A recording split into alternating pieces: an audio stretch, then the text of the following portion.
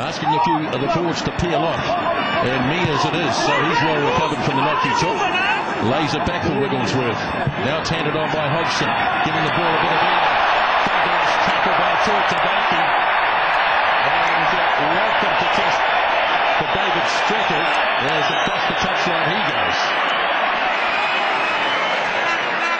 Big defence by Tuitavake. Spot tackle had to be made. That's the beginning of it. Pretty successful last week. Brad Thorn at line out time, not so first time tonight.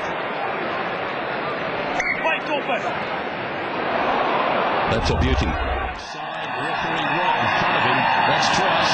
Now Carter loves it. Reverse kick in.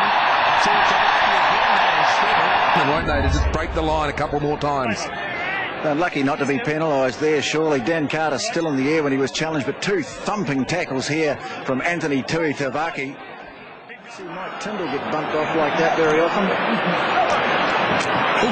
Boy, that was some contact from Tuitavake.